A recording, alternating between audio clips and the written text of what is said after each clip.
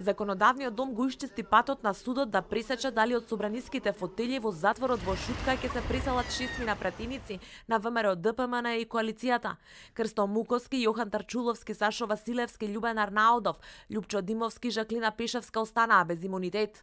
Експресно, едногласно и со бојкот на ВМРО ДПМН, пратениците го одобрија барањето за притвор, односно го одземаа пратеничкиот имунитет. Народните избраници гласаа поединечно за секој пратеник. Од мнозинството на колегите од опозицијата им порачаа дека одлуката е и за нивно добро. И ова собрание цврсто да застане на страната на правдата и на еднаквоста. Токму собранието треба и мора да биде пример за враќање на правната држава.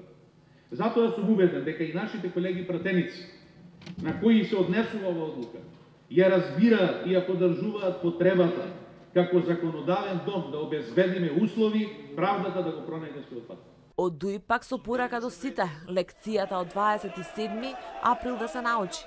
Ова нека, нека биде поука за сите нас, за граѓаните, за институциите, за општеството и нека се претвори во сила за да одиме напред за една вистинска демократија и Евроатлантска Македонија. ВМРО ДПМН воопшто не се појави во законодавниот дом. Во соопштение од претеничката група порачаа дека нема да учествуваат во како што рекоа политичка фарса за политички прогон. Главна и единствена работа која СДСМ ја спроведува е политички реваншизам, прогон и хајка. СДСМ очигледно не сака во Македонија да постои опозиција, која што со свест и совест треба да се спротивставува на штетни политики.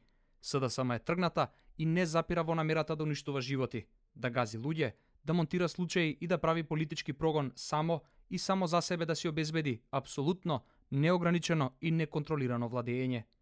Неофицијално од ВМРО ДПМН е вела дека за брзо време нема да се вратат во законодавниот дом, а во таа насока вела туди најавата од собранискиот председател дека собраниска седница нема да има најмалку 10 дена поради службениот пат на Џафери во САД. На маса велат се сите опции од радикализација и блокада со лјадници амандмани во собранието до комплетен бојкот и напуштање.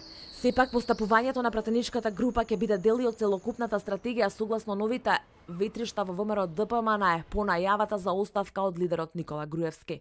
Собранискиот спикер вели дека случувањата нема да ја попречат функционалноста на собранието, бидејќи претениците не се дел од мнозинството, но вели сигурно ќе влијаат на реформските процеси.